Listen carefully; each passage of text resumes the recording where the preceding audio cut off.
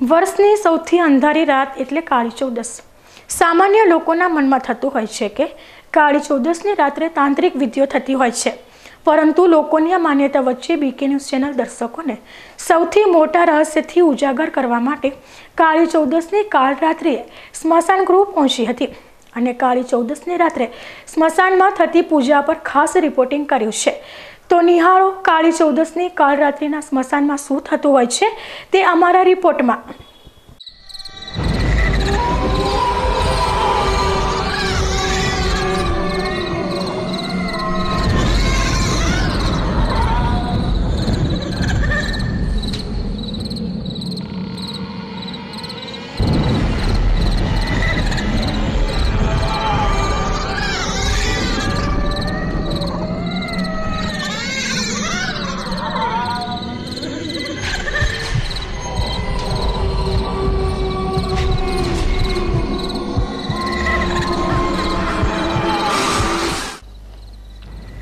ડીસાના સ્મશાન ગૃહમાં ગોળ કુંડાળું કરીને બેઠેલા આ યુવકો છે કાળી ચૌદસની પૂજાના સાધકો.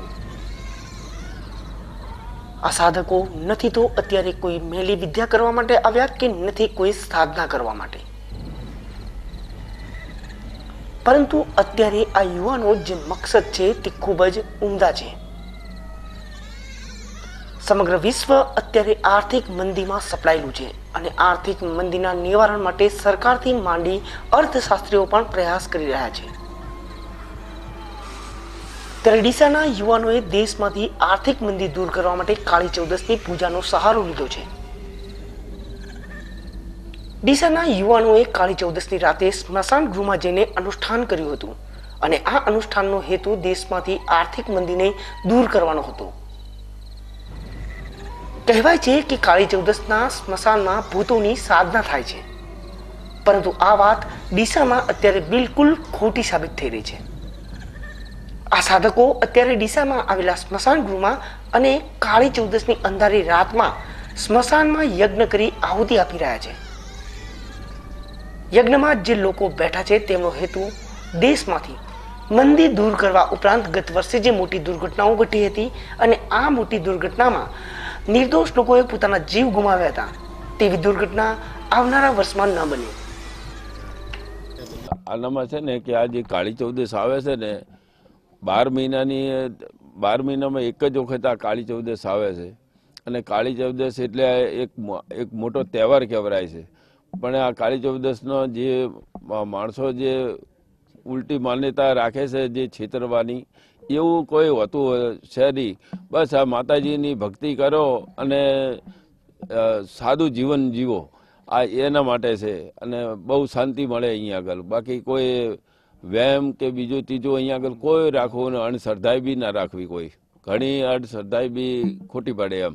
પણ આ અમે હવન વન બીજો કરીએ છીએ અમને છે ને કે મનને શાંતિ બહુ મળે છે ને માતાજીનું નામ લઈએ છીએ પિતૃદેવતાનું નામ લઈએ છીએ અને બસ અહીંયાને શાંતિ મળે એવા અમે અહીંયા આગળ અમારા પોતાના માટે આશીર્વાદ અહીંયા આગળ લેવા આવ્યા છે.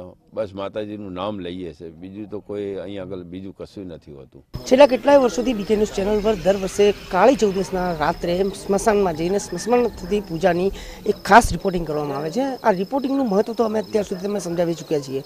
પરંતુ આ વર્ષે અમે તમને એ બતાવીશું કે આ વર્ષની કાળી ચૌદસની પૂજામાં અહીં આવનારા ભક્તો તેમજ પૂજારીઓએ શું કામના કરી હતી? છેલ્લા આઠ વર્ષથી અમે અહીં આવીએ છીએ, ભગત સાથે અહીં હવન કરીએ છીએ.